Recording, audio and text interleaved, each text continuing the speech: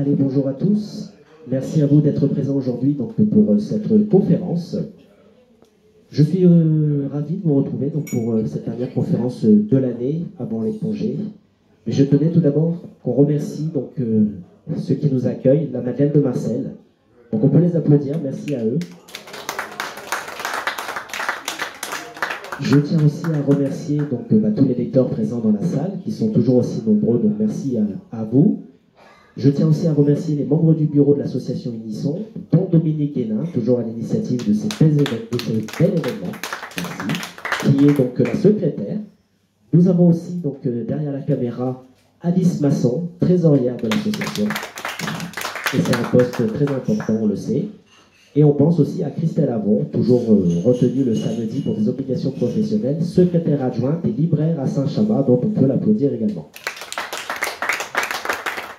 Je rappelle que cette conférence est filmée et disponible euh, sur YouTube. Nous avons avec nous donc Mireille Sanchez, qui nous présentera donc son livre de cuisine euh, sur la Méditerranée, on va en parler. Nous avons aussi donc Guillaume Duvier, Duvivier, pardon, et enfin, notre cher ami Michel Lecoq, que nous avons déjà eu la chance de recevoir ici. Donc euh, vraiment, merci à, vous trois d'être là. Première chose, vous le savez, vous commencez à connaître un petit peu maintenant le déroulement. La première chose, c'est j'aimerais bien que vous vous présentiez, que vous nous disiez qui vous êtes, et ensuite on enchaînera euh, sur pourquoi vous avez euh, écrit vos livres. Mireille, est-ce que tu peux nous dire qui es-tu? Il y a des jours où j'aimerais bien savoir. Bon, alors je suis l'auteur de livres de cuisine, de gros livres de cuisine. Euh, voilà, je ne sais pas quoi dire, moi je suis toujours embêtée pour parler de moi. Euh, je préfère qu'on parle de mes livres. Euh, bon voilà, je ne sais pas quoi vous dire. Bonjour, donc Guillaume, euh, moi, j'habite euh, dans le sud de la France, mais je suis originaire du nord. Je suis né à Dunkerque. Euh, la mer existe aussi là-haut, mais elle n'est pas de la même couleur. Ça fait quelques années que je suis dans le sud et j'ai écrit mon premier, mon premier livre qui sorti en septembre, un récit de voyage en Polynésie française que j'ai passé en famille puisque je suis marié, j'ai deux enfants. Je vous expliquerai tout à l'heure.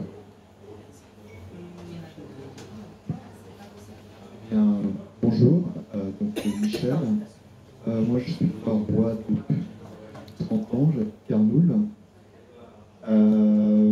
Euh, donc c'est mon dernier, il peut sortir le 1er avril, c'est une blague. Et d'autre part, je fais ma présence je pense. Euh, mon heure d'aventure. Et...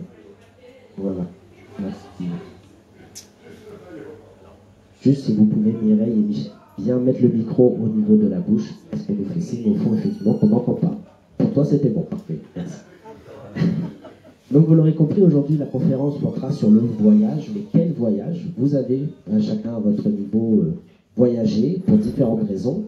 Mireille, est-ce que tu peux nous dire, toi, par rapport à ton livre, pourquoi le voyage? Quel est le rapport avec ton livre et le voyage? Alors, d'abord parce que c'est celui-là, Méditerranée, euh, c'est un livre qui évoque les cuisines des 24 pays riverains de la Méditerranée, plus le Portugal. Donc déjà, c'est un livre de voyage, c'est un livre pour lequel j'ai voyagé à différentes époques de ma vie. Je connais bien tous ces pays, je connais bien cette, cette mer terre. Et, et puis, et puis euh, la cuisine est un voyage.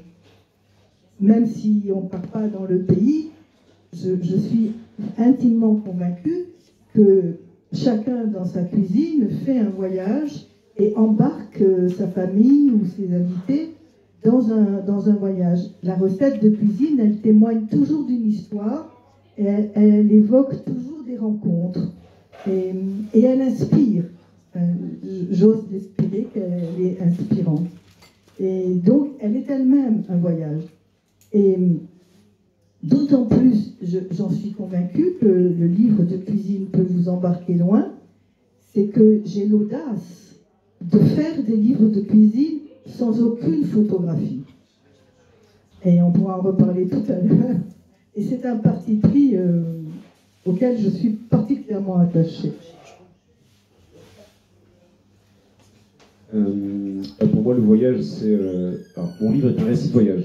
D'accord Donc, on est vraiment dans le thème pour le coup. Un récit de voyage qui m'est arrivé. Enfin, voilà, j'ai eu l'envie d'écrire pour, la première fois après, après six mois en Polynésie française. On était parti pour une année. et au bout de six mois, en retour de, de découverte des îles Marquises, donc en Polynésie française, j'ai eu envie de, raconter ce qui s'était passé au départ sous forme euh, un peu de carnet de bord, et puis en fait, euh, en se prenant au jeu petit à petit, euh, j'ai envie d'en faire un, récit, quelque chose qui puisse être édité, qui puisse être partagé. et donc voilà pourquoi le lien avec le voyage aujourd'hui. Alors moi, bah, c'est un, un thriller d'aventure, de blues, pardon, qui se passe, qui se passe en Afrique. Alors pourquoi l'Afrique?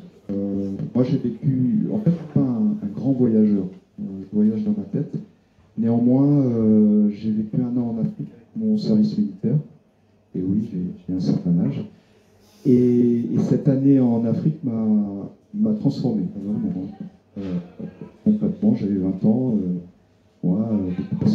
et là, un an en Afrique, une Afrique pauvre, Djibouti, hein, pour pas la citer, ça, marque, ça marque un, un jeune homme, je pense. Et 30 euh, ans après, je, voulais absolument euh, revenir en Afrique et également euh, poser un petit peu des, jalons écologiques sur cette Afrique-là et sur cette aventure-là. c'est le but un peu de blues. Pour ce qui est de la photo, la photo, elle suivi tout le long de ma jeunesse, de, mon, de ma vie, jusqu'à maintenant. Et c'est finalement un voyage vraiment intérieur parce que toutes mes photos sont prises soit dans le Var, soit dans les Bouches-du-Rhône. Néanmoins, euh, vous le verrez de son, présentation là, euh, chacune a, une façon d'être et d'avoir été prise n'est pas, pas la réalité même, donc qui peut être interprétée par l'aventure et par le, par le voyage. Voilà. Est-ce qu'il y a une première question dans la salle, par exemple? Non, pas pour l'instant? N'hésitez pas, si vous avez des questions, vous levez la main. Vous le savez, c'est le but de ces conférences, c'est aussi un échange. Mireille, toi, donc, tu as choisi le thème de la cuisine. Qu'est-ce qui te plaît particulièrement dans la cuisine? Et pourquoi avoir voulu écrire un livre euh, sur ce sujet-là euh, euh, Je crois que ce qui me plaît en premier dans la cuisine, c'est de manger c'est de goûter, c'est de, se rendre compte que le moindre ingrédient peut mettre tous les sens en émoi. C'est quelquefois un bouleversement, bon, parfaitement dégueulasse, mais ça marche toujours. Et puis, ce qui me plaisait dans la cuisine, c'est de raconter l'histoire. Euh, j'ai pour habitude de dire, mais, je vous assure, ce n'est pas un cliché, qu'à la rencontre de l'histoire et de la géographie, partout dans le monde, il y a une recette de cuisine. La cuisine, elle témoigne que l'histoire a existé. Elle témoigne des échanges, des migrations, des, échanges commerciaux ou, ou, historiques, ou culturels, ou cultuels elle, est, voilà, la, recette, elle est un témoin et un passeur, parce que la recette, elle est aussi de, transmission de génération en génération. Je parle de cuisine euh, familiale traditionnelle. Je ne parle pas de la cuisine des, grands chefs, qui a un autre sujet. Et donc, euh, en fait, tout a commencé avec euh, un poulet pour moi. il y a longtemps, J'étais en amour depuis toujours de cet animal. Et en feuilletant des photos de voyage, parce que j'ai eu la chance de beaucoup voyager, il y avait toujours des poulets dans mes photos. Et un jour, on m'a dit, mais d'où il vient? Et je n'ai pas pu répondre à cette question sur l'instant, alors qu'on était en train d'en manger. Et depuis, je n'ai cessé de chercher d'où il venait. Et ça a donné un premier livre de plus de 1000 pages, qui s'appelle Le poulet voyageur. Et qui est réédité en octobre, là, cette année, dans sa version française. Et c'est comme ça que je me suis aperçue qu'il y avait ce lien défectible entre l'histoire et un ingrédient. et des recettes de cuisine. Et après, je me suis dit, mais quel est euh, l'ingrédient que l'on mange partout dans le monde, dans toutes les régions, dans tous les continents, dans toutes les classes sociales, dans toutes les religions Et ben, c'était le poulet. Après, il y en a d'autres, donc c'est d'autres livres. Et c'est ça, c'est toujours ce lien qui m'intéresse. Donc c'est toujours. euh, et, et- ce poulet, il a fait un voyage extraordinaire, et il le fait toujours. Méditerranée, d'abord, je suis méditerranéenne, c'est mon identité. Si, si quelque chose me définit, c'est ce mot, et je suis très fière de le porter.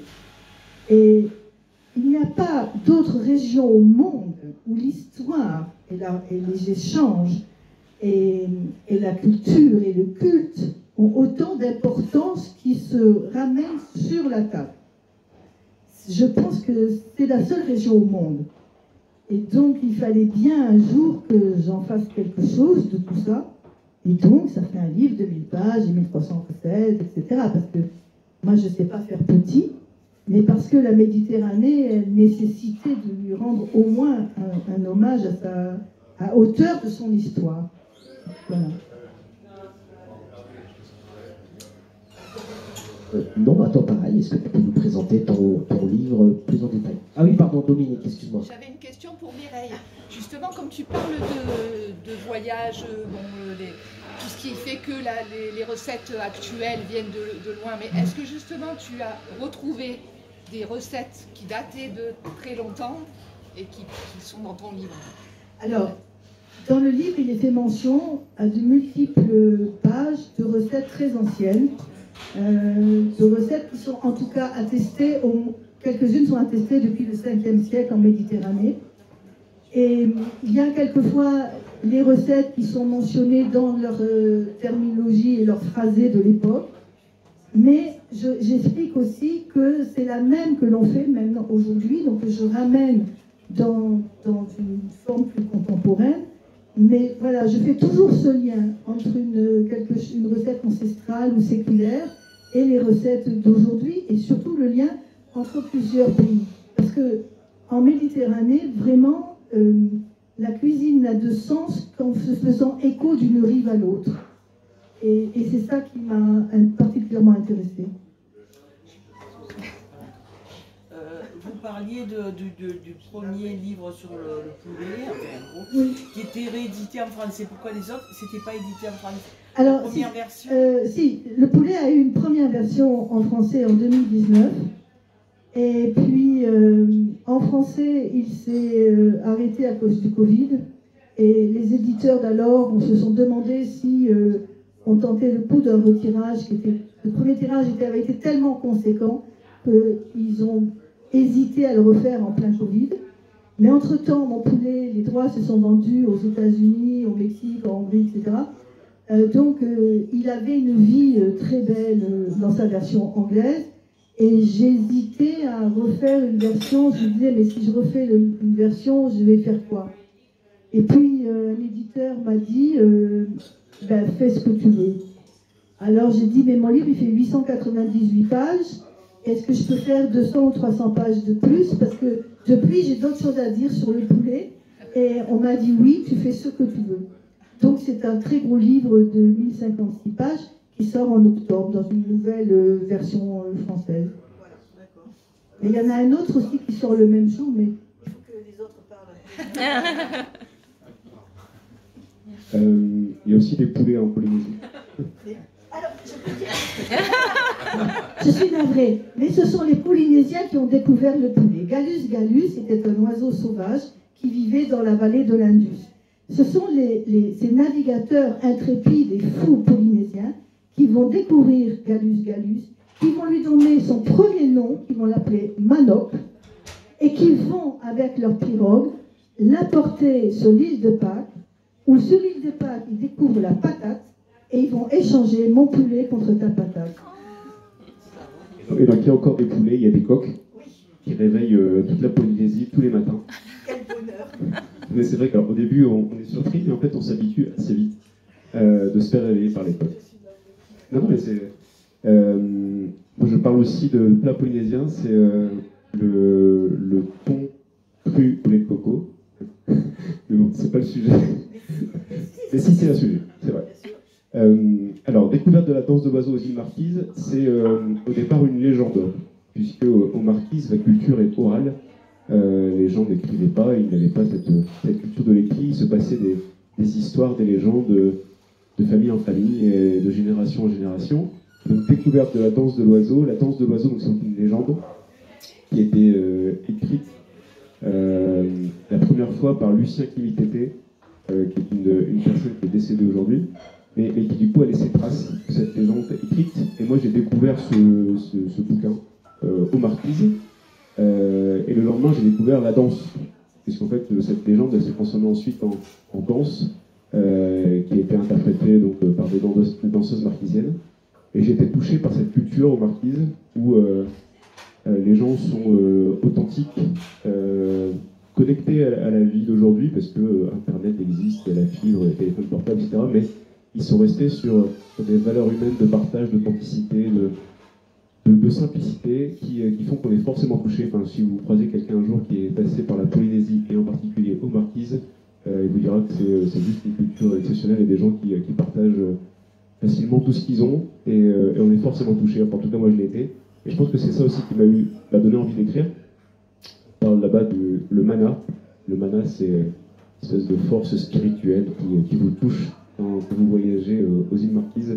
Il y a d'ailleurs euh, Jacques Brel qui, euh, est resté là-bas quand euh, il est allé, il n'a pas pu partir, et il, a- est enterré là-bas.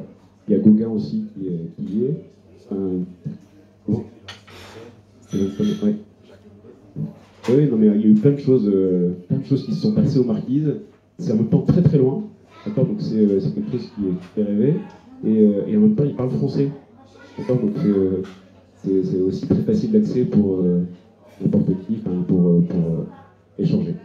Donc c'est à l'issue de ce voyage aux îles Marquises que je me suis mis à écrire. Je vous expliquais tout à l'heure d'abord un carnet de bord, et puis ensuite on se prend au jeu de l'écriture, et puis on se dit tiens ça serait intéressant de, raconter un peu plus, et puis je m'intéresse à la culture marquisienne, du coup j'y retourne une deuxième fois pour une autre occasion, et, euh, et puis voilà, je, décide d'écrire, euh, de raconter tout ça pour partager euh, la culture marquisienne, polynésienne aussi forcément, puisque les Marquises sont partis de la Polynésie, et, et de donner envie aux gens de s'y intéresser, ou en tout cas de voyager par ce récit de voyage, euh, plutôt que d'y aller, parce que je pense que voilà, tout le monde n'a pas euh, le temps, l'argent, euh, l'opportunité d'y aller, donc c'était euh, l'occasion de partager, euh, grâce à ce récit de voyage, cette, euh, ces îles marquises.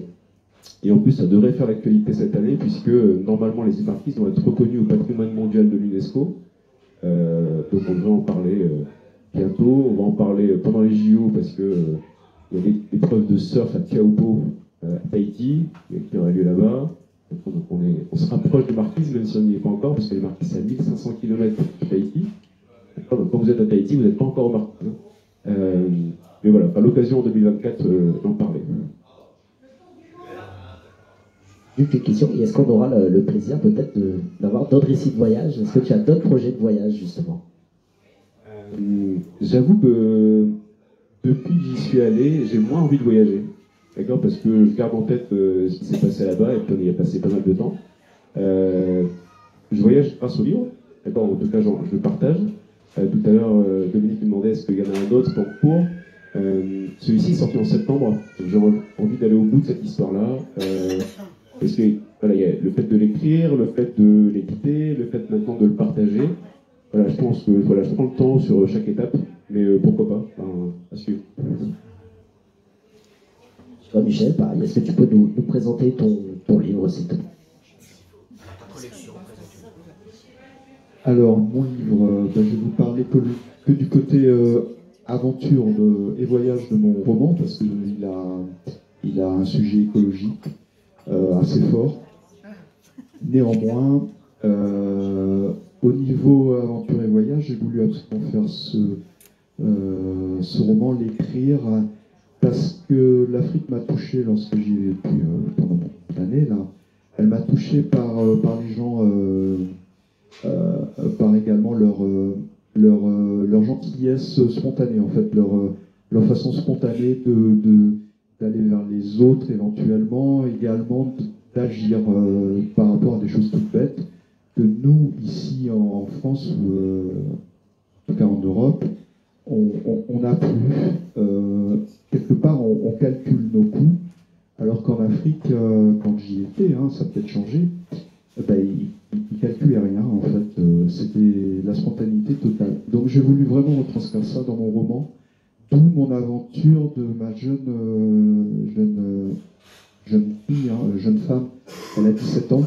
Elle s'appelle Dalila, qui, qui, a un secret et puis qu'elle doit absolument transmettre à Paris. Donc déjà, vous voyez, il y a une espèce de, choses un petit peu alambiquées. Pourquoi forcément aller à Paris et pourquoi ça doit être si nécessaire que ça? Mais dans, la tête de ces gens-là, des fois, il y a, cette spontanéité qui fait que euh, il faut faire, il faut y aller. Euh, euh, au risque, d'avoir des coups et des blessures, mais il faut, y aller. Et donc c'est vraiment ça que j'ai vécu en Afrique, c'est vraiment comme ça que j'ai voulu, transmettre ça dans mon roman et, dans, et dans mon héroïne Dalila et dans son, compagnon de voyage qui s'appelle Moses, qui lui a tout l'inverse, elle, elle a 17 ans, Moses en a pas loin de 60, donc il y avait cette espèce de, euh, jeu entre les deux, entre la, faux folle et puis le, sage, euh, qui sont vraiment des choses que j'ai moi vécues quand, euh, quand tout bêtement, par exemple, j'allais acheter des cartes postales, à l'époque ça existait encore, euh, des cartes postales à Djibouti où je, les achetais auprès de, gamins qui, voilà, c'était c'était le deal quoi, Euh, c'était à eux qu'il fallait que je les achète, pas, pas n'importe où et pas ailleurs. Et, c'est un peu ça, ce roman-là. C'est un secret, et il faut le transmettre et, ça passe. Point ou ça casse, peu importe, il faut lire le roman. Néanmoins, euh, c'est c'est un peu ça l'Afrique, c'est un peu cette Afrique-là qui m'a touché. La simplicité. Voilà. Tu fais aussi de la photo. Ah oui, la photo. Oui, c'est vrai que euh, bah, la photo, c'est avant l'écriture. En fait, euh, moi, j'ai commencé l'écriture en 2016. J'en avais déjà parlé d'ailleurs, à cause d'événements euh, français hein, très importants. Mais avant, je faisais beaucoup de photos. J'ai commencé la photo jeune, j'avais 12 ans. On m'a offert mon premier appareil photo à 12 ans, comme beaucoup de photographes d'ailleurs, très connus. Ils ont toujours commencé par euh, un parent qui leur offre un appareil photo. Donc moi, ça a été mon cas. À 12 ans, j'ai fait de la photo, j'ai commencé qu'un cas. J'ai fait beaucoup de, de photos quand j'étais à Djibouti. J'ai pris goût à la photo à ce moment-là, je crois. Et en 2018, j'ai j'ai commencé à vouloir faire des expos. Euh, J'en ai fait pff, ouais, une soixantaine, un peu partout. Euh, la dernière en date, euh, ça a été à Sifu. J'ai été invité à Lisbonne. Euh, j'ai été sélectionné pour euh, exposer en Belgique. J'ai fait pas mal de trucs en photo. Mais à un moment, il y a eu la lassitude.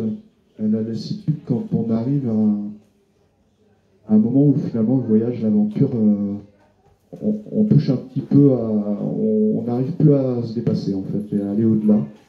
Et c'était 2015 euh, également. Voilà. Mais par contre, oui, la photo, c'est vraiment le voyage intérieur dans, dans l'absolu. Euh, je vois qu'il y a une question. Euh, moi, je voulais. tu- tout à l'heure, tu as dit que c'était un thriller, c'est ça Oui. Et pourtant, euh, c'est inspiré de choses que toi, tu as vécues. Oui. Est-ce que tu voulais pas faire plutôt comme Guillaume, un récit, euh, un témoignage? Tu, tu as préféré une fiction? Alors, alors si j'écris un vrai récit, je le ferai sur Djibouti, sur vraiment mon vécu. Euh, ou, ce que j'ai vécu moi, en fait, euh, des choses un petit peu. euh, Des, choses de gamin, hein, en fait. hein, un petit peu, fois un petit, peu stupide d'ailleurs. hein. Mais oui, mais là le truc c'est que en fait, il y a l'écologie dedans et pas que non plus tomber dans l'écologie apolitique, mais dans le, comportement de- enfin, ce type de comportement-là. Euh, mais néanmoins, je voulais euh, également aborder un, aspect écologique qui est euh, la, la- production du pétrole en, Ouganda. Et voilà, ben, je suis tombé dedans, c'était l'Ouganda, la Tanzanie, c'était pas ailleurs en fait. Donc, donc j'ai parlé de, de ces pays-là. Et d'ailleurs, mon collègue me faisait,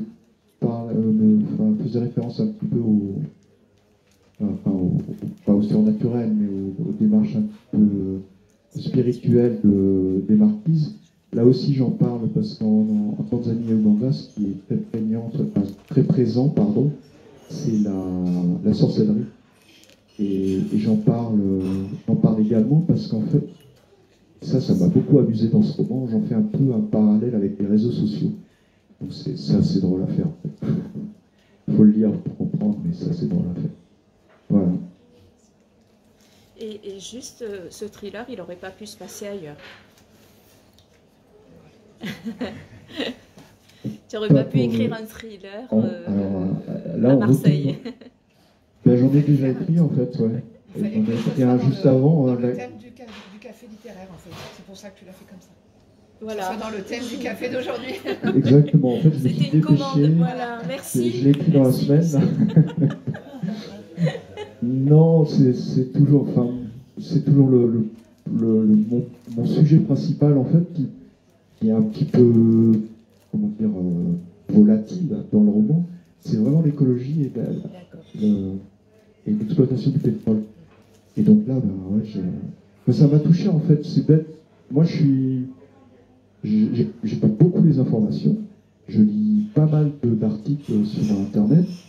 Et je suis tombé sur un article là-dessus, sur l'exploitation du pétrole en Uganda il y a deux ans.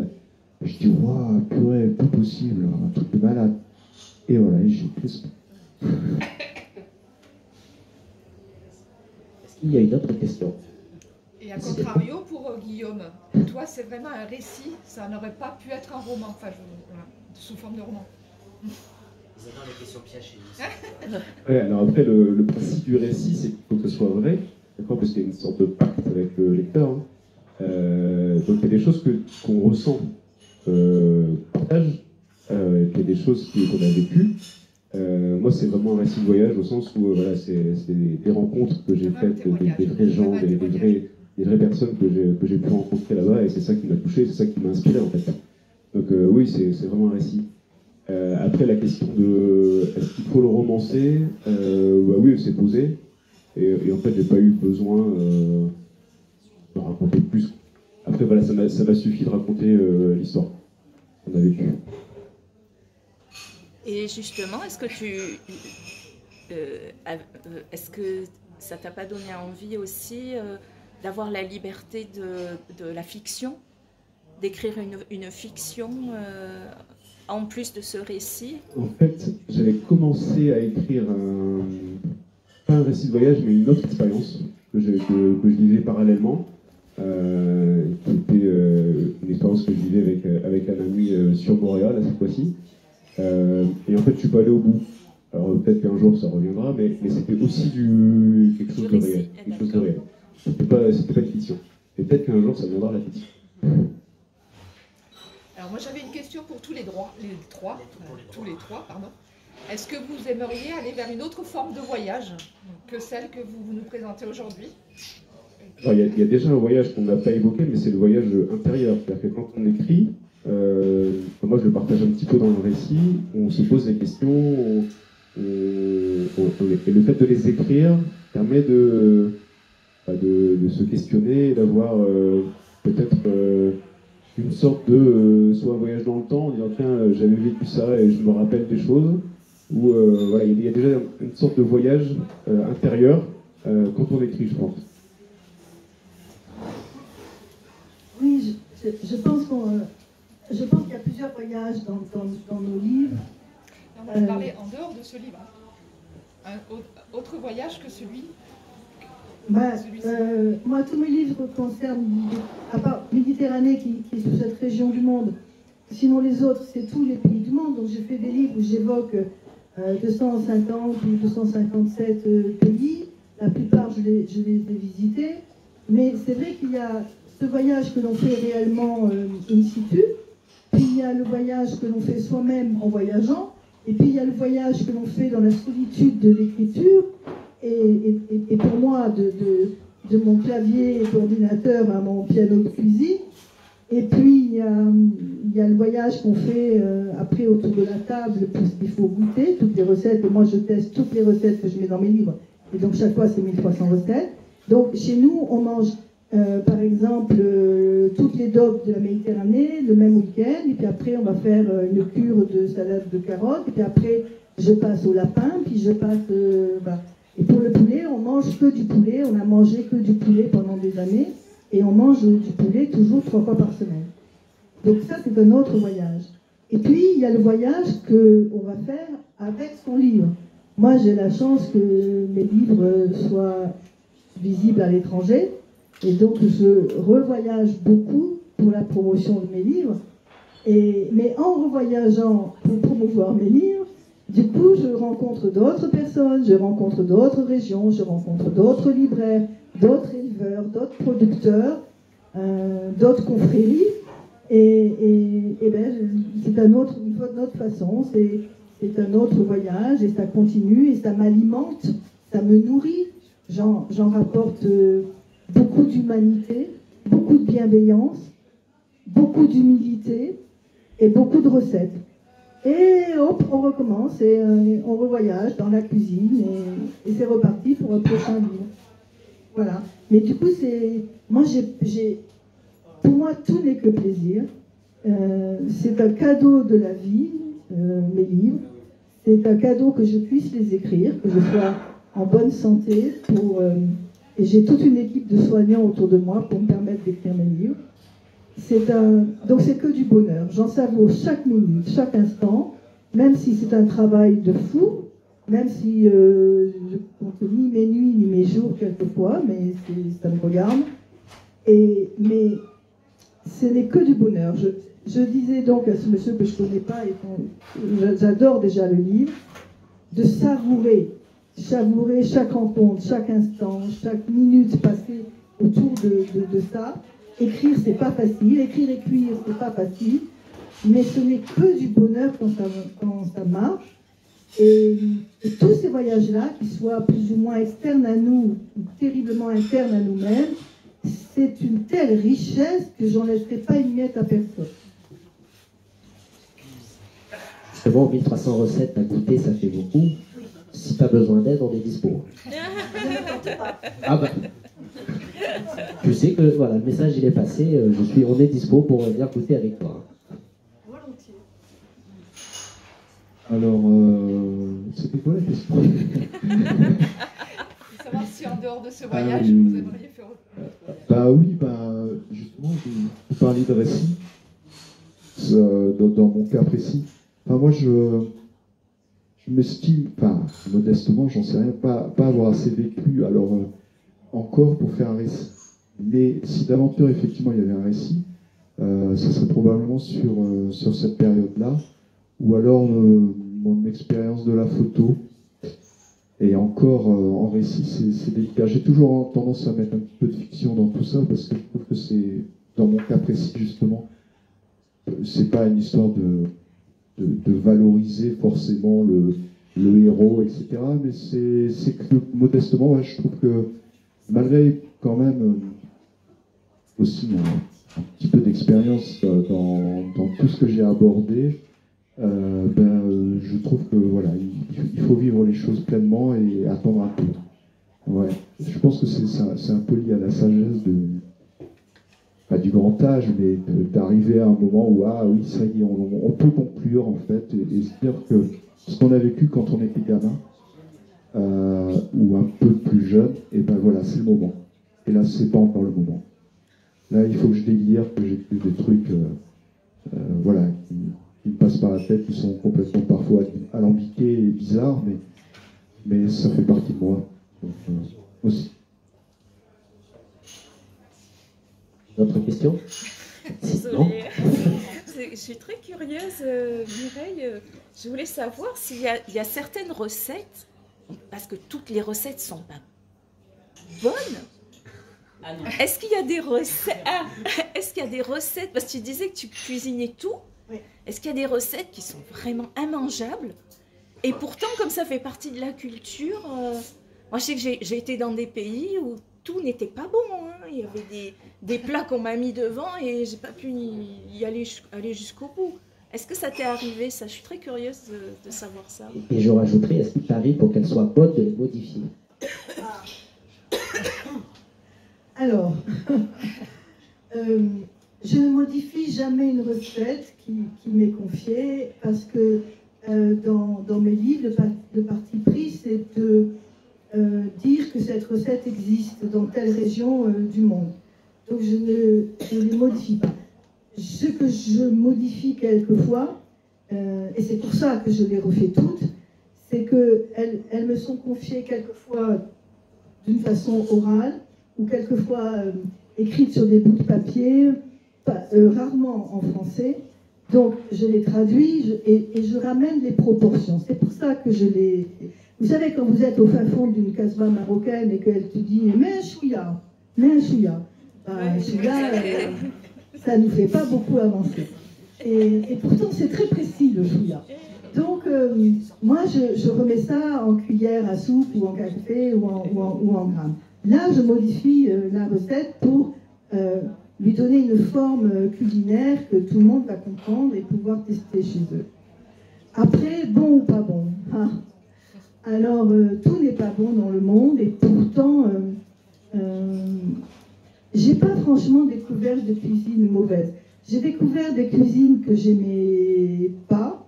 Il y a des choses que je n'aime pas manger, c'est très personnel. Euh, pour autant, je vais, si la, cette recette-là, elle me paraît pertinente, elle permet témoigner donc d'une histoire, elle, est inscrite depuis euh, des millénaires, et elle, fait sens dans le livre, euh, bien sûr, je vais la mettre. Euh, moi, j'aime pas la cervelle. Bon, ça me regarde. Je mange pas d'huîtres crues, ça me regarde. Pour autant, euh, ça a une histoire. Pour autant, ça, ça, révèle une identité culinaire de certaines régions du monde. Donc, je vais, les, je vais les mettre. Je vais quand même les cuisiner.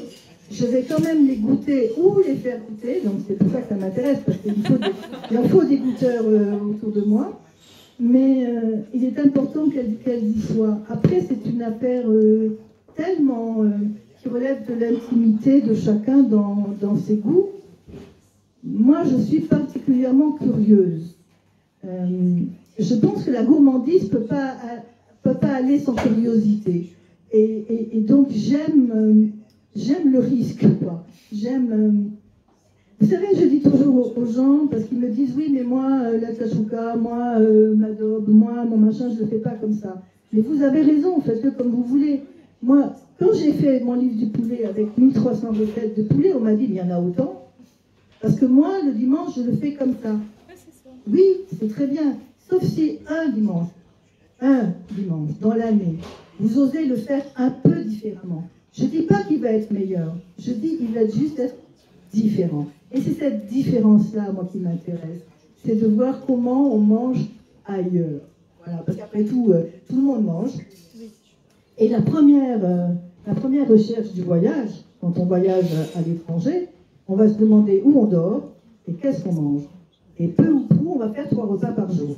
Donc, cette rencontre avec la nourriture, avec d'autres habitudes, avec d'autres goûts, d'autres couleurs, d'autres odeurs, d'autres saveurs, il me semble qu'elle fait partie intégrante du voyage. Et ce voyage-là, on peut le faire dans le quatrième arrondissement de Marseille, dans sa petite cuisine, je vous assure. J'ai répondu, j'espère. Merci. Oui, alors vous parliez de curiosité.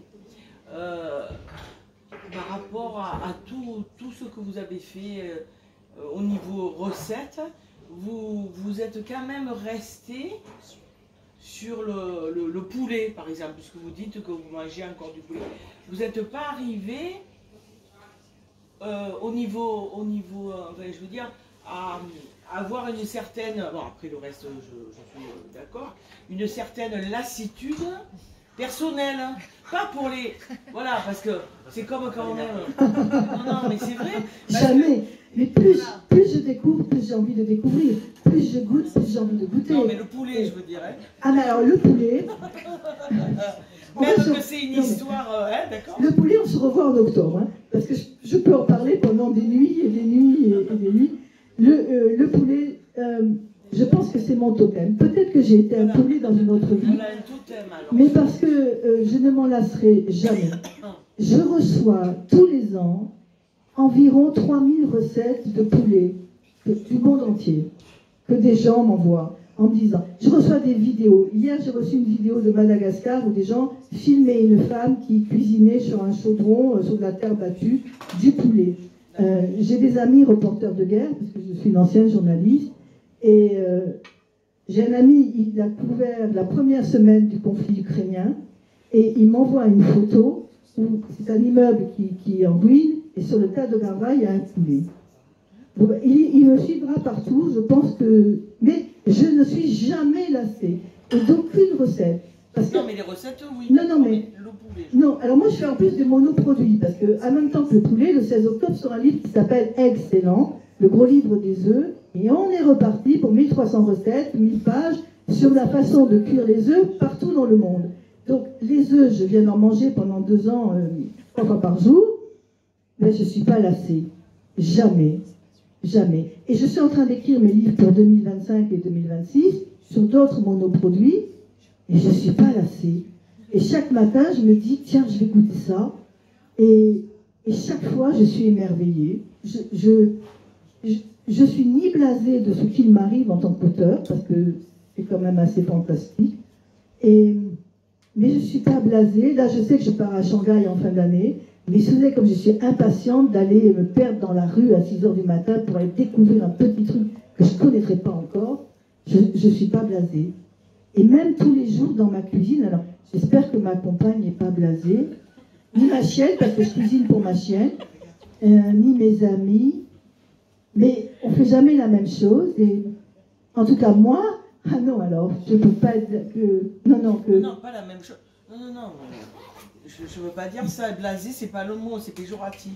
Je veux dire qu'après un moment donné, même qu'on aime les choses, parce qu'on parle souvent de soi, moi c'est vrai que des fois je, je suis, même si on a des passions, vous parliez de totem euh, certainement, euh, de dire, bon, pas la cuisine, pas ce que vous écrivez, de dire, bon ça va, maintenant je parle de, du lapin, quoi, voilà. Je veux dire, pas blasé, pas, parce que c'est- pas beau blasé, c'est pas beau, Non, mais non, faire le tour, dire, j'arrête. Eh bien, j'ai pas fait le tour. Vous voyez, la, Méditerranée, la Méditerranée en 1300 recettes et 1000 pages, je pourrais demain écrire un autre livre sur la Méditerranée. J'ai pas fait le tour. Euh, le poulet, j'ai pas fait le tour. Et, et les œufs, j'ai j'ai pas fait le tour. Et, et les trois prochains, eh ben, j'ai, franchement, j'ai pas fait le tour. Et j'ai pas de lassitude. La lassitude, elle est quelquefois que je me dis, euh, je suis une ouvrière, c'est-à-dire que je dois travailler un certain nombre d'heures par jour pour écrire. Écrire, mettre les recettes en forme. Ça, c'est de... Là, je trouve que je suis l'ouvrière qui va au job. Ça, ça me lasse. Mais les jours où j'ai pas envie d'écrire, je n'écris pas parce que je vais pas bien écrire. Et alors, ben, je vais cuisiner. Vous voyez, de toute façon, euh, j'en- ben, de toute façon, euh, j'en sors pas, mais, mais je ne veux surtout pas en sortir. C'est intéressant ce que tu dis, et j'aimerais bien qu'on rentre euh, à- avant d'aller d'aller manger, que vous nous parliez du poulet. Euh, c'est justement qu'on rentre un petit peu plus dans votre activité d'écrivain. Vous voulez écrire des livres de recettes, écrire un thriller, écrire un livre photo, écrire un récit. Dans quel état d'esprit vous vous mettez euh, pour écrire euh, tout cela? Je vais laisser la parole à, Michel. Euh, Alors moi je suis pas apaisé avec l'écriture parce que, parce que ça un petit peu carinca.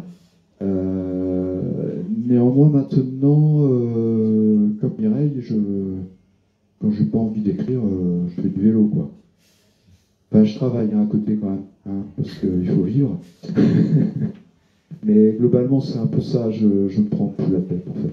Avant j'essayais de me dire, euh, allez, euh, tous les jours on, va mettre trois pages et c'est ouais. Euh, D'autant plus que je vais reprendre la photo.